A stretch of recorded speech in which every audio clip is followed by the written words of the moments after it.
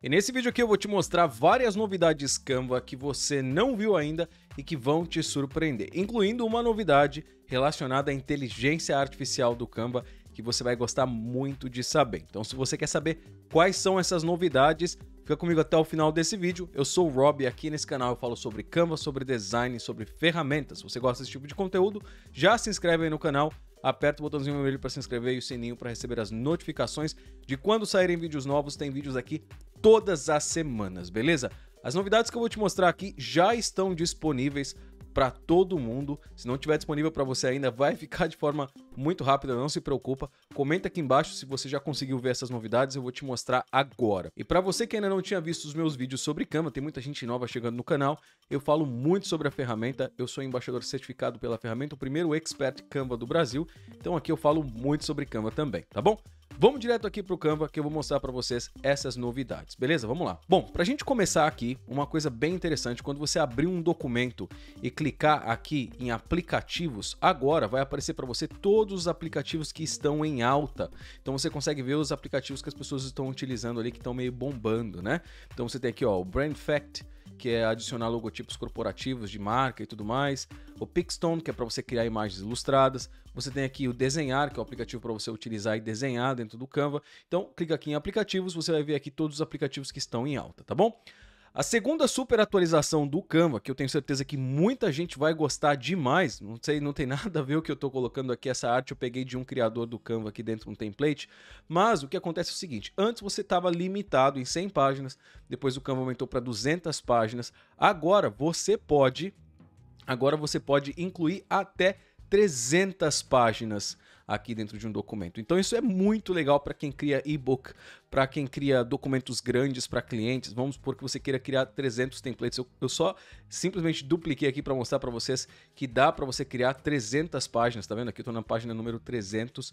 Então agora você tem essa novidade aí dentro do Canva. Você consegue criar até 300 páginas é, utilizando a ferramenta, o que é muito legal e muito útil aí se você quiser criar um e-book, se você quiser criar algo nesse sentido, isso vai te ajudar bastante, tá? Então já vai lá e testa, porque eu tenho certeza que já vai ter sido feito o update aí para você, para você utilizar essas 300 páginas.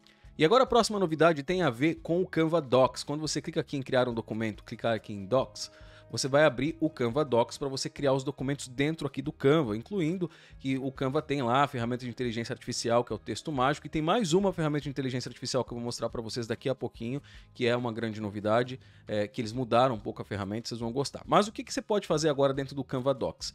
Uh, além do Canva ter lançado vários modelos aqui, vários é, templates para você utilizar, então você vai clicar aqui, ó, vai ter vários templates de documentos para você utilizar.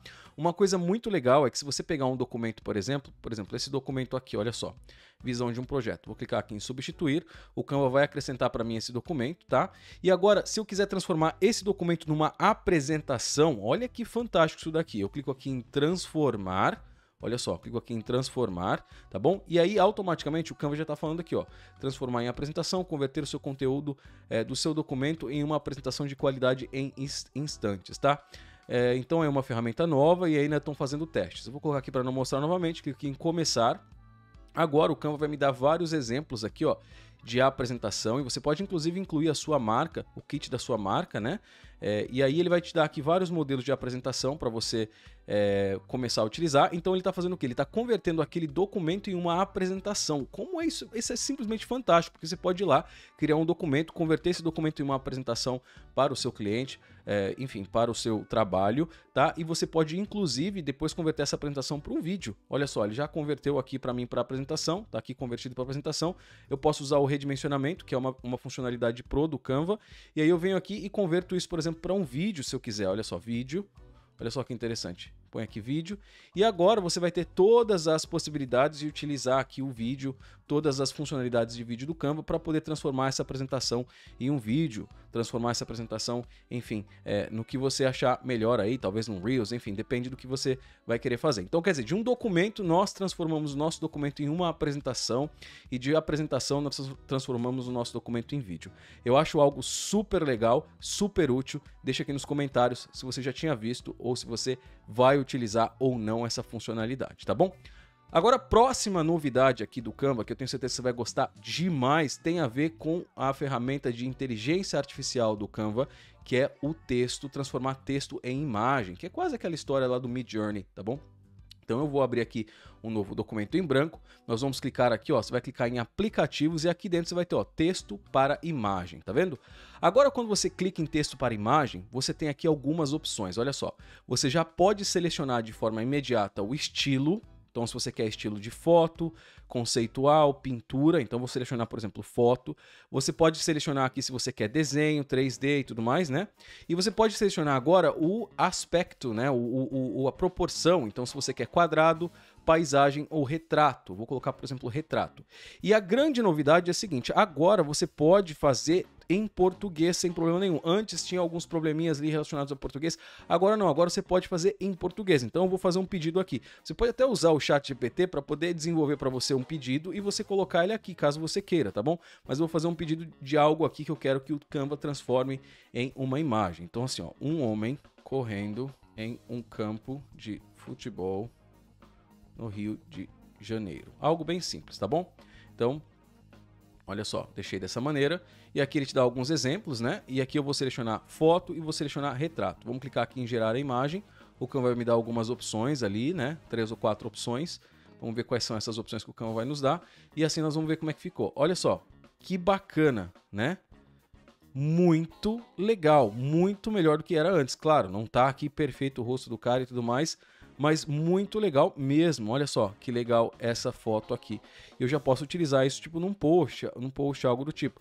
Então, agora você pode fazer pergunta em português, você pode clicar aqui em gerar mais, ele vai gerar mais mais opções aqui para você, né? E você pode selecionar o formato. Isso é uma novidade muito legal para quem utiliza essa ferramenta. Então, quer dizer, o Canva está cada vez melhor né, é, melhorando a questão de inteligência artificial, além do texto que você pode utilizar dentro do próprio Canva, agora você também pode utilizar aí a ferramenta de imagem em português. Olha que fantástico. Então você pode vir aqui e pedir, vou clicar aqui em recomeçar, pode pedir o que você quiser.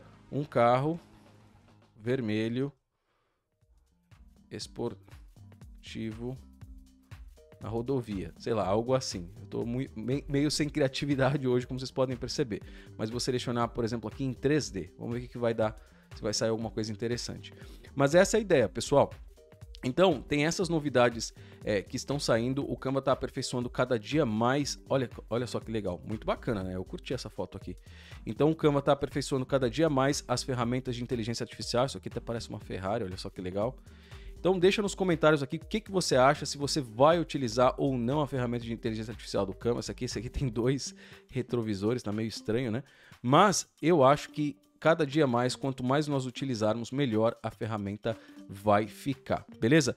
Quero saber a sua opinião, deixa aqui embaixo para poder saber o que, que você acha, se você acha que essas novidades são legais ou não, se você já tinha visto, já apareceu para você ou não, e vai lá e tenta, experimenta utilizar essa ferramenta aqui que eu tenho certeza que você vai gostar bastante, que vai te auxiliar aí no seu dia a dia, tá bom? Então, até logo, vou deixar mais alguns vídeos aqui para você assistir sobre Canva, sobre inteligência artificial. Te vejo no próximo vídeo. Tchau, tchau.